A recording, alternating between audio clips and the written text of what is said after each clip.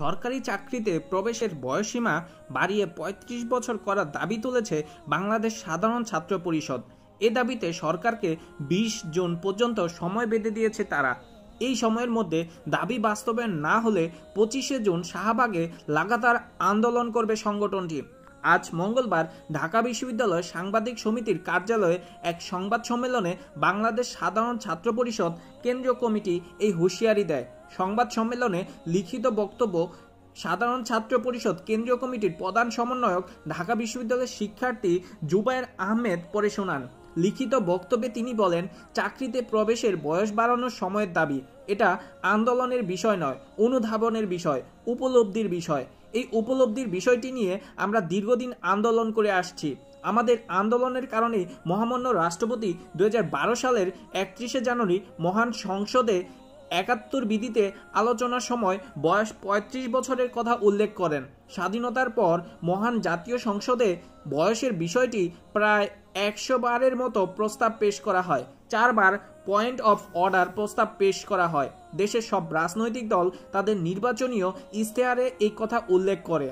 বাংলাদেশ আওয়ামী লীগের নির্বাচনী ইশতেহারের অঙ্গীকার করা হয়। কিন্তু দুর্ভাগ্যের বিষয়, বর্তমান সরকার তিন বছর অতিক্রম করার পরও ছাত্রদের দেওয়ার কথা অঙ্গীকার এখন পর্যন্ত বাস্তবায়ন করেনি তিনি বলেন, গড় আয়ু যখন পঁয়তাল্লিশ ছিল, তখন চাকরিতে বয়সের সীমা ছিল সাতাইশ ছিল। গড় আয়ু যখন পঞ্চাশ পার হলো, তখন তিরিশ করা হলো। বর্তমানে আমাদের গড় আয়ু বাহাত্তর দশমিক দুই বছর।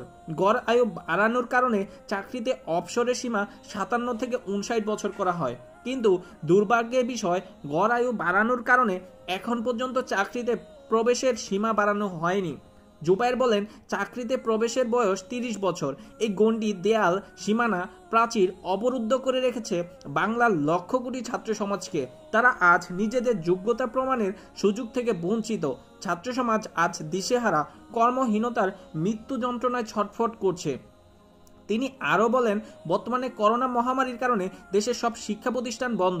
সব পাবলিক বিশ্ববিদ্যালয়, সাত কলেজ, জাতীয় বিশ্ববিদ্যালয়ে লাখ লাখ শিক্ষার্থী প্রায় আড়াই বছরের সেশন জটে পড়েছে। এখনও বিশ্ববিদ্যালয় খোলা প্রায় অনিশ্চিত। নন পিএসসির ক্ষেত্রে প্রজ্ঞাপনের শুরুর বয়স আঠারো বছর। আঠারো বছরে কখনো চার বছরের মেয়াদি অনার্স শেষ হয় না। দুই বছর মেয়াদি ডিগ্রিও এখনও নেই। এই অকার্যকর আইনটি এখনও বাতিল করা হয়নি।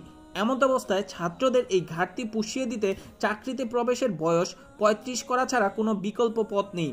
জুবাইর বলেন, আমরা দীর্ঘদিন ধরে শান্তিপূর্ণভাবে চাকরির বয়সীমা ৩৫ বছর করার দাবিতে আন্দোলন করে আসছি।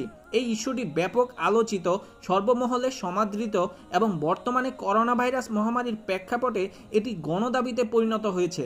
এই দাবি বাস্তবায়নে সরকার দ্রুত সিদ্ধান্ত না জানালে ছাত্র সমাজ কঠোর আন্দোলনে যেতে বাধ্য থাকবে। সংবাদ সম্মেলনে সাধারণ ছাত্র পরিষদের মুখপাত্র ও ঢাকা বিশ্ববিদ্যালয়ের শিক্ষার্থী ইমতিয়াজ হোসেন, সংগঠনের সমন্বয়ক, জাতীয় বিশ্ববিদ্যালয়ের শিক্ষার্থী সুলতানা আক্তার, ঢাকা কলেজের শিক্ষার্থী মোহাম্মদ নাসিম উপস্থিত ছিলেন।